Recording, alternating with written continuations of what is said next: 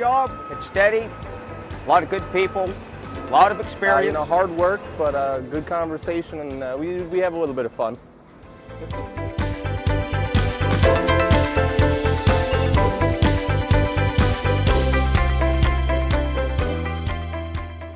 Uh, it's, it's a great place to work, and I would recommend that anyone that could work here uh, should look into it.